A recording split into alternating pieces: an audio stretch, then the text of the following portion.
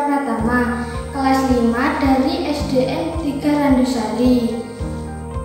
Pada kesempatan praktikum sains di rumah ini, saya akan mempraktikkan sifat-sifat cahaya. Untuk itu, mari sahabat MoTV ikuti saya praktikum sampai selesai.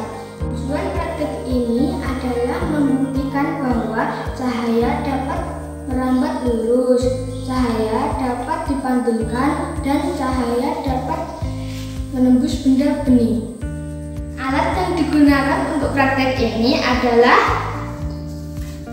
senter,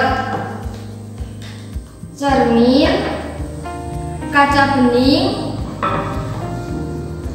layar,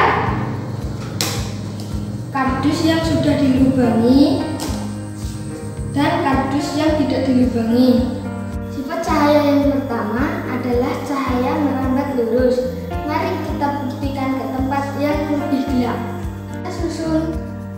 Kardus yang berlubang seperti ini dan kardus layar.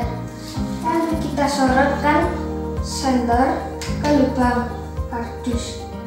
Maka cahaya merambat lurus.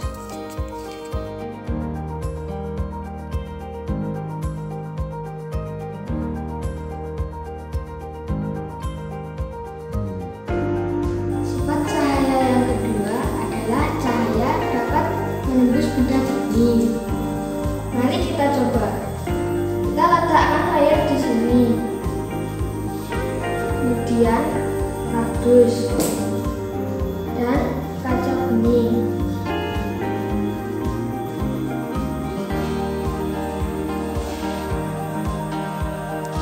Lalu kita sorotkan senter kita ke kardus dan tidak menembus. Lalu buat yang ke kaca bening dan terlihat kalau cahaya senter tembus.